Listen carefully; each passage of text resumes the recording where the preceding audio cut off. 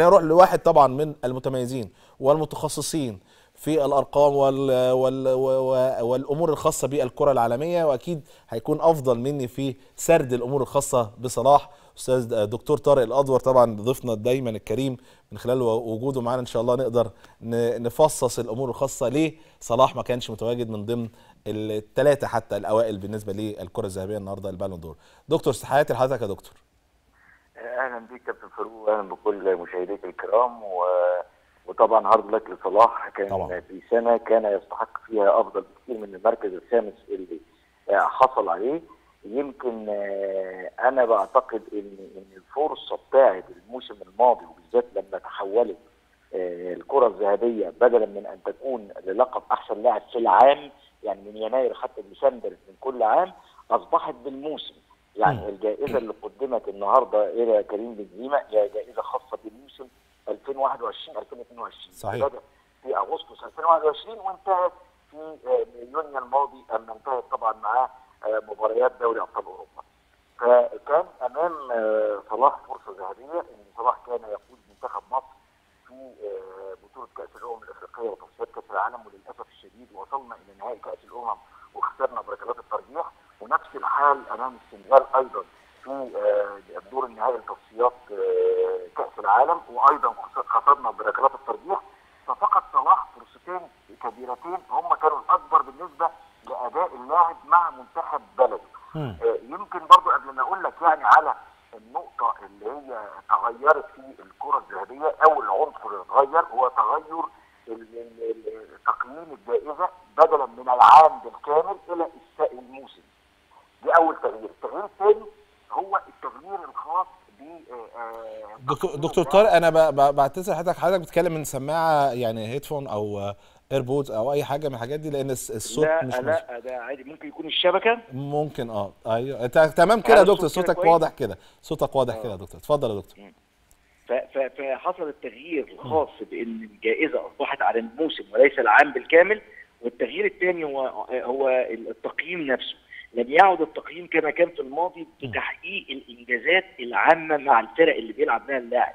يعني كان قبل كده آه، تقييم اللاعب في المقام الأول كان على الإنجازات اللي بيعملها. تمام. فيمكن آه، France Football لقت إن إن هي ده في ظلم كبير جدا لبعض اللاعبين اللي بيكونوا على مستوى عالي جدا لكن منتخبات بلادهم ما هياش منتخبات كبيرة. زي مثلا آه، روبرت ليفاندوفسكي واحد من أعظم اللعيبة في السنوات الأخيرة ولكنه ينتمي لمنتخب بولندا اللي لا ينافس على ألقاب وهكذا فطبعا آه، تم تعديل معايير الجائزة لتكون في المقام الأول على الإنجازات الفردية قبل ما تكون على الإنجازات الجماعية مع الفريق.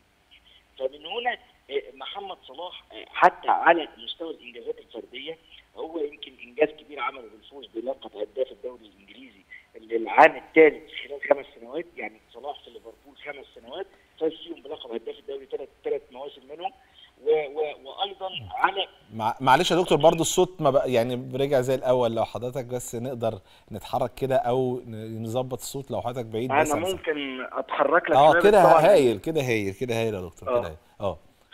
فالتقييم بقى أصبح من خلال طبعا الإنجازات الفردية للاعب. أنا بعتقد إن في آه، آه، آه، يعني مباراة فاصلة كانت في إن صلاح يبتعد عن الكرة الذهبية هي كانت نهائي دوري أبطال أوروبا بين ليفربول. وريال مدريد.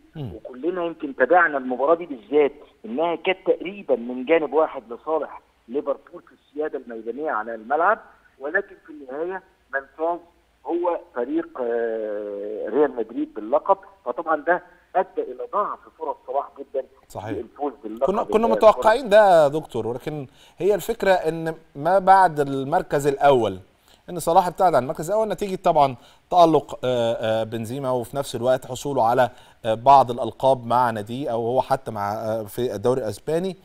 وبالتالي صلاح ليه مثلا إحنا بنشوف ليه ما خدش التاني التالت؟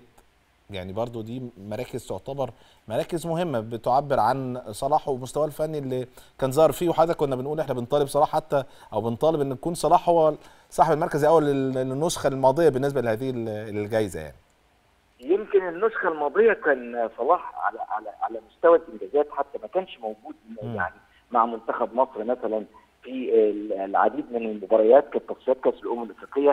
كان تقريبا حضر مباراتين من المباريات الستة اللي لعبها منتخب مصر وكان يمكن آه، ليفربول آه، بيمر بالفترة الأولانية من الموسم. كان بفترة ليست جيدة على مستوى النتائج. يمكن النتائج تحسنت في الآخر لكن في البدايات ما كانتش نتائج ليفربول جيدة. فيمكن كان آه، صلاح أكثر اقناعا السنة دي خصوصا إن هو زي ما قلت إن هو كان مع منتخب مصر على طول في آه، بطولتين كبار. وكان أيضا آه، فاز ببطولة آه، ال Carabao Cup اللي هي كاس رابطه الانديه الانجليزيه وال FA Cup اللي هو كاس الاتحاد الانجليزي مع آه، ناديه وكان لو كان حقق بقى كمان دوري أبطال أوروبا والدوري. المحلي آه، فضل على المنافسة على الدوري لغاية اللحظة الأخيرة. فطبعا هو سيء الحظ جدا إن كل ال- ال- النقاط الفارقة معاه في الموسم ما كانتش لصالحه الحقيقة سواء اللعب على الدوري حتى الثواني الأخيرة من آخر مباريات الأسبوع رقم 38 للدوري الإنجليزي كان ليفربول بإمكانه إنه يفوز باللقب لولا الفوز الغريب والعجيب لمانشستر سيتي على ولفرهامبتون 3 2 لو تتذكر بعد ما كان خاسر 0 2 ف- فطبعا ضاع الدوري وضاع أيضا بطوله اوروبا وكلنا كنا شايفين إن تقريبا ال 90 دقيقة نسبة استحواذ ليفربول فاقت آه، 70% وإضاعة فرص آه، و- وتألق غير عادي لتيبو كورتوا الحارس آه، ريال مدريد. وبالتالي آه، يعني آه، كان لقب مستحق جدا لليفربول فقدوا أيضا فضاعت فرصة صلاح جدا في المنافسة على اللقب هذا العام. طيب. لكن كلنا نتفق على حاجة واحدة اتفضل إن صلاح بالحقيقة كان يستحق مثلا انه يتواجد في المراكز الثلاثه الأولى يعني واحد من الثلاثه الأوائل لكن طبعا ده هو اللي إحنا زعلنا يعني. طيب دكتور. خليني أسألك على الألقاب الأخرى بالنسبة يمكن صلاح طبعا كنا نتمنى زي ما أنت بتقول حضرتك كده يبقى موجود في الثلاثه الأوائل. طبعا ساديو ماني اخذ المركز الثاني وده إنجاز كبير جدا لساديو ماني وطبعا للسنغال فخر كبير جدا. وده أعتقد سببه برضو الوصول لكأس العالم بطولة الأمم الافريقيه أكيد ساعدت ساديو ماني إن هو يكون في المركز ده.